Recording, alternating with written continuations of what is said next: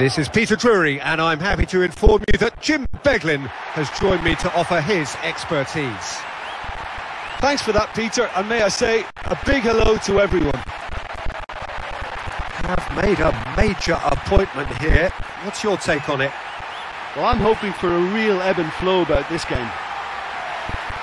Of all the grand stadia in world football, none more impressive than this. The crowd wait to offer them a red-hot welcome.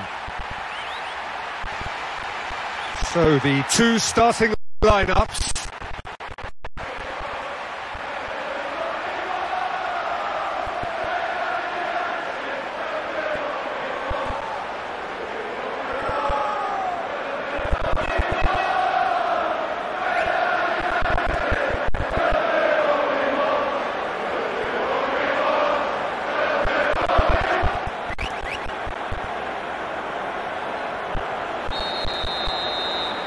The scene is set.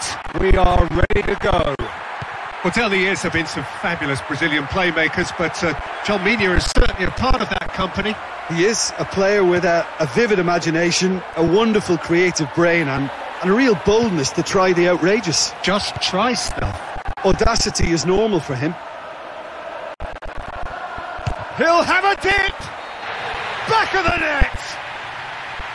As sweet as you like! That's glorious! I just think in midfield he's almost the perfect player. Great vision, superb energy, and he scores too.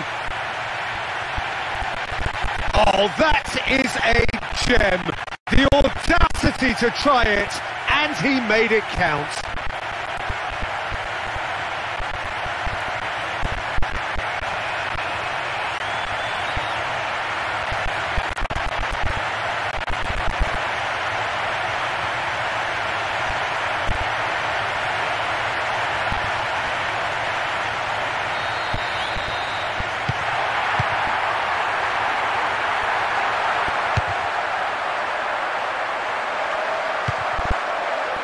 Sterling.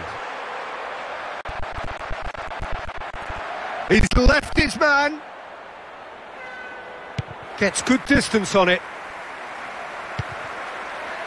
Casemiro.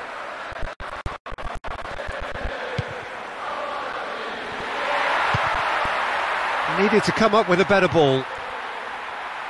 First quarter of an hour gone.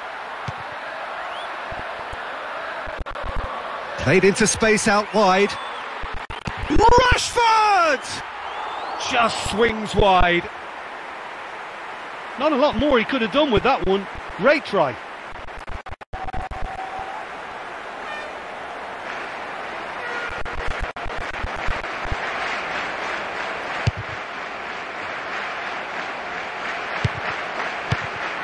Nkunku. Jonny Evans.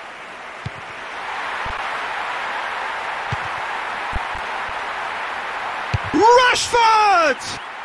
No, that's not troubling anyone.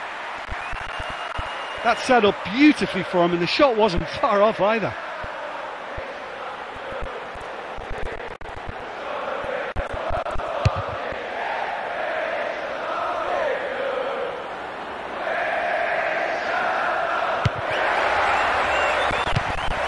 Rafael Varane.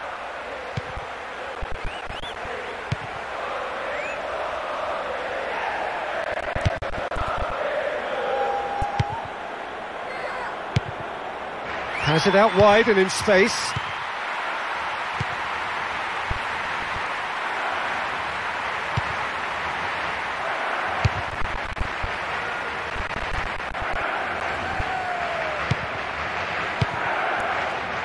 Nkunku.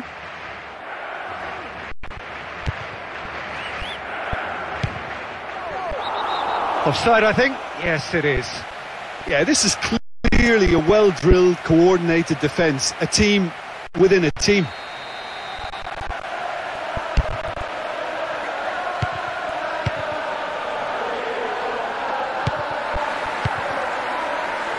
Has it in a wide position. So what next?